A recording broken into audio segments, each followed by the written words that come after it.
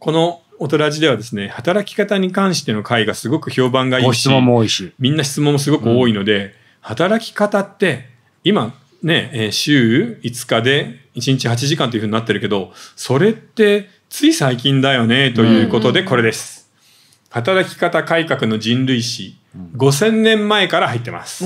すごいですね。5000年がその薄さですか。そうです。その過程で僕たちがいかにしてうん。働く時間を削ってきたか、うん。その歴史です。あ、なるほど。面白いね。いいですね。働きたくないですね。そう。うんないのでや働きたい、その働きたい。うん働き方の話をしながら、えーそれぞれ僕たちの考える働き方に関しての半うん分フリートークになる感じかな。まあ、楽しみですね。はいはいということで、えー、今夜もご視聴いただいてありがとうございました。また次週お目にお耳にかかりましょう。それでは。はい。はい、おやすみなさい。